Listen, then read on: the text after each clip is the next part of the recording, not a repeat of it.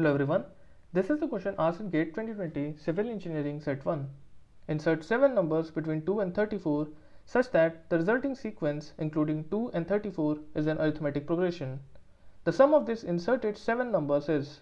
So, we have been given with the first and the last number 2 and 34 and within these numbers 7 numbers are inserted in an arithmetic progression and we have to determine the sum of these inserted 7 numbers.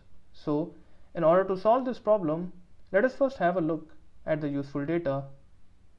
So, the first thing that we need to understand is what is a progression and how do we use some general formulas based on the progression.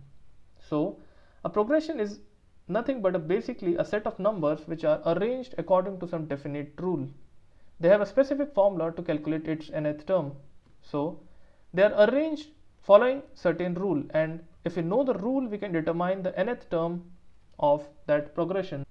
Now considering this question arithmetic progression is a sequence in which each subsequent term of it is obtained by adding up a constant term to it. That is the difference between two consecutive terms remains the same throughout. So for example if I have a progression something like 1 3 5 7 or 9 and so on, then each term is obtained by adding a constant term to it that is 2 and I can determine this constant term by taking the difference of any two consecutive numbers. So if I take the difference of 7 minus 5 I will get this constant. So this is a form of arithmetic progression. Now the general form of uh, arithmetic progression is a, a plus d a plus 2d, a plus 3d and so on where a is the first term and d is the common difference. Also, if I have to determine the nth term of any arithmetic progression, then I can simply say that the nth term of any arithmetic progression would be a plus n minus 1 times d, where n is the number of term, the nth term that I want to calculate and d is the common difference. So if I want to find the seventh term, then this would be a plus 6d. If I determine the sixth term, it would be a plus 5d and so on.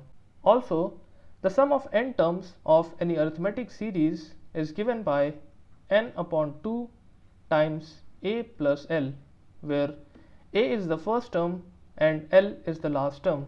So, for example, if I have a series like 1, 3, 5 and 7 then in order to determine the sum of this series I can simply say that the sum of the four terms of this series would be 4 upon 2 times the sum of the first and the last term which would give me 2 times 8 which is 16. So let's use this concept and try to solve the problem.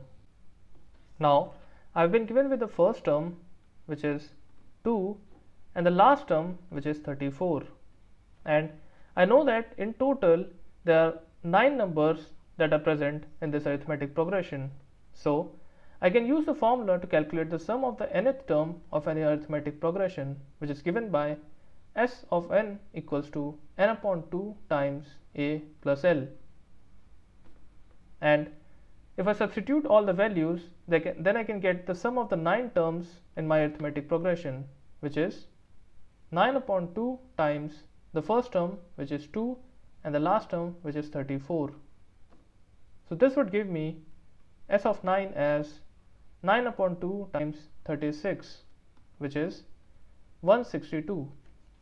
Now I have the sum of the first 9 terms or the 9 terms in my arithmetic progression and I need to calculate the sum of the 7 terms that are inserted in between. So all I need to do now is to subtract the sum of the 9 terms from the first and the last term of the arithmetic series which is 162 minus 2 minus 34 which would give me 126.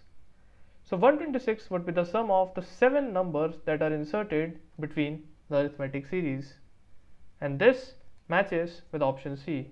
So option C 126 is the right answer. Thank you.